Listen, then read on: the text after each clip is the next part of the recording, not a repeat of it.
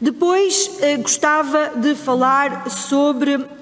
a seca. E relativamente à seca, gostava de dizer o seguinte: nós tivemos este primeiro eh, trimestre e até à atualidade, incluindo o mês de abril, tivemos uma pluviosidade que retirou alguns dos nossos territórios uh, da classificação que estavam, uh, nomeadamente com uh, o índice de seca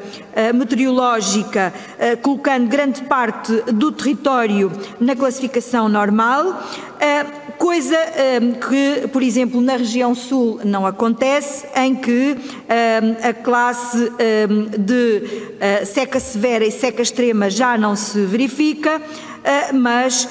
15% ah, do território ainda está em seca fraca e 5% em seca moderada. E, portanto, ah, nós não estivemos apenas a trabalhar nas medidas da Covid-19 para fazermos o acompanhamento que temos consciência que fizemos o melhor que podíamos atendendo às circunstâncias, mas trabalhámos noutros domínios da nossa uh, atividade. E gostava de dizer que relativamente a este assunto, um, as nossas reservas de água melhoraram, no entanto, a sul do Tejo existem nove albufeiras que estão com as suas reservas ou esgotadas ou com restrições muito significativas. E, portanto, aquilo que nós fizemos foi criar Uh, grupos de trabalho que estiveram a desenvolver os planos regionais de eficiência hídrica uh, para o Alentejo e o Algarve isto um despacho conjunto, ou dois despachos conjuntos entre o Ministério da Agricultura e o Ministério do Ambiente.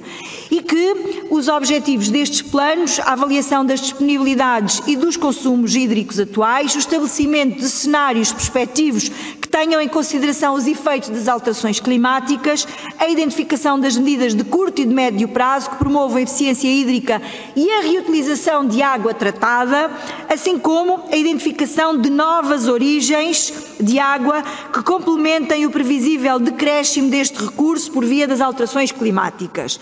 Pois bem, o que quer dizer é que temos já concluído o plano regional para o Algarve e que apresentaremos em breve e que estamos já numa fase de conclusão do plano regional do uh, Alentejo. Eu disse Algarve primeiro e agora Alentejo, então disse bem.